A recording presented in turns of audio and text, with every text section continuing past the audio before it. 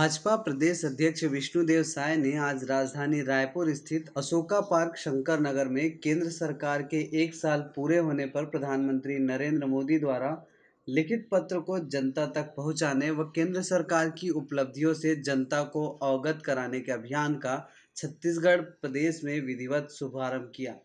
इस अभियान के तहत आत्मनिर्भर भारत का संकल्प विश्व कल्याण हेतु भारत की भूमिका और कोविड 19 के फैलाव से बचाव के लिए सावधानियाँ और स्वस्थ रहने के लिए अच्छी आदतों का संकल्प भाजपा प्रदेश अध्यक्ष विष्णुदेव साय ने दिलाया।